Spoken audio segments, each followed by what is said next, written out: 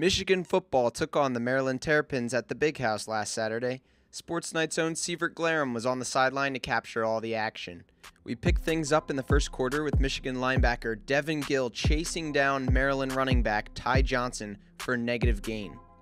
Michigan's running back Karan Higdon would run numerous times early as part of 25 carries for 103 yards. Michigan would jump out to a 3 0 lead on a field goal at the end of the first quarter.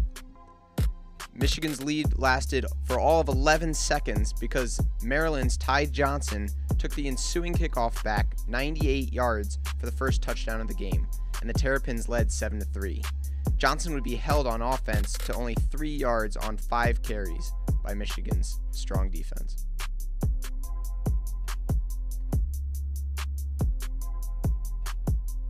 Now, Maryland's quarterback Kasim Hill would be under pressure for most of the day this time, it was junior defensive end Josh Uche forcing the throw away. With 8.21 remaining in the second quarter, the Wolverines began an 11 play, 95 yard drive, ending with this powerful run from physical fullback Ben Mason. Michigan took the lead 10 7, and the big house was rocking.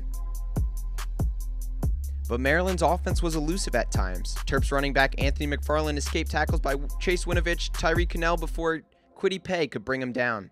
Scary moment here for Michigan at the end of the first half. Defensive tackle Michael Dwumfour went down with an injury. He would have to be carted off to the locker room, although after the game, linebacker Devin Bush did not consider the injury to be too serious. The Michigan offense was not done for the first half, and on this play, Shea Patterson gets 6'8 tight end Zach Gentry involved with a nice first down catch.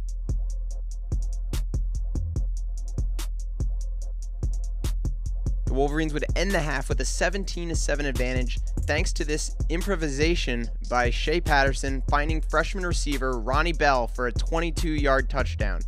Grant Perry and Nico Collins came over to celebrate the score.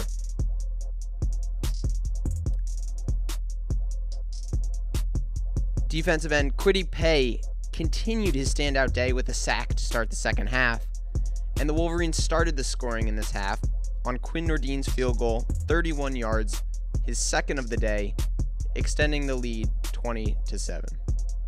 Michigan special teams took advantage of a miscue by Ty Johnson, pinning the Terps back at their own one yard line.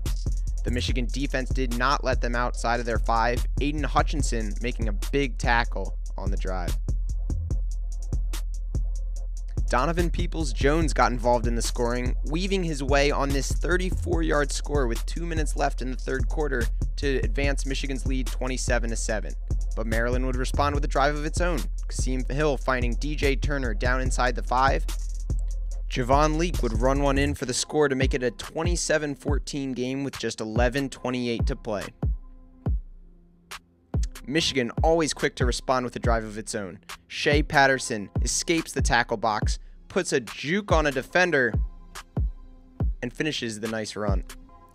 Patterson found freshman running back Tru Wilson for a catch in Maryland territory with a face mask tacked on at the end.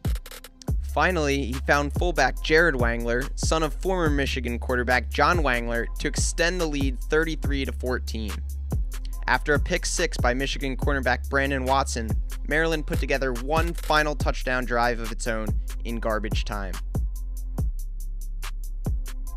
Backup quarterback Dylan McCaffrey and running back O'Maury Samuels entered the game for the final snaps, and 12th ranked Michigan took down Maryland 42 21 ahead of a massive matchup this Saturday under the lights against the 15th ranked Wisconsin Badgers.